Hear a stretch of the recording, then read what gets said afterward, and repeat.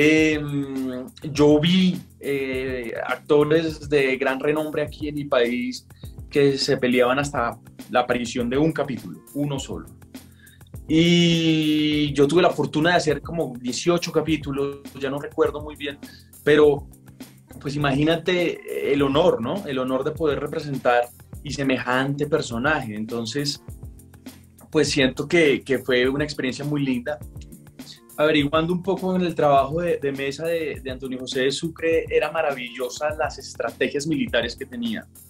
Eh, hizo unas proezas increíbles, pasar por Pisba, por ejemplo, eh, con un ejército a, una cordillera tan alta, tan, fría. Eh, esas proezas militares solo las puede concebir un genio. Entonces esa genialidad me enamoró mucho, me, me, conquistó. Yo creo que eh, la lucha, la lucha que uno tiene que tener ante el yugo, porque los yugos continúan.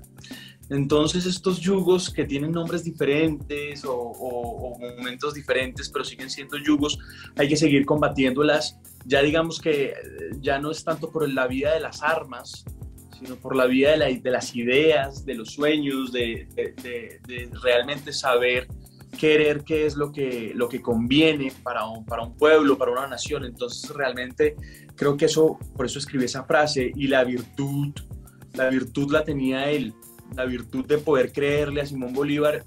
Mira, anécdotas curiosas. Al principio Antonio José no, no creía mucho en Bolívar, en Simón y, y, y, creo que era un hombre de, de, ver para creer y de hacer para creer.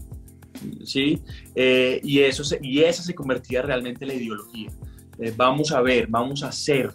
Y, y, nunca paró, nunca paró.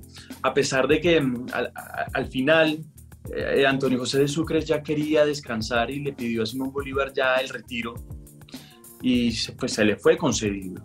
Mm, desafortunadamente, pues mira, era el directo sucesor de Simón Bolívar, era el heredero. Esto, esto, no lo decían ellos, esto lo decían los españoles, lo decían los enemigos de Bolívar, de Sucre, que, que, era el heredero de Bolívar. Imagínate lo, lo, que, lo que él quería. Y él realmente era un hombre de paz. Era un hombre de paz, era un hombre que, que evitaba 100% el conflicto, desde el diálogo, desde eh, eh, mm, las cartas, la, digamos que la diplomacia, ¿me entiendes? Trataba de, evitarlo, pero también a la hora militarmente de decir, bueno, no hay otra opción sino nos toca irnos militarmente, entonces sí, se organizaba muy bien y puedo decirlo con, con, con franca certeza que creo que mm, la mejor pieza dentro del rompecabezas de la campaña libertadora de Simón Bolívar fue Antonio José de Sucre.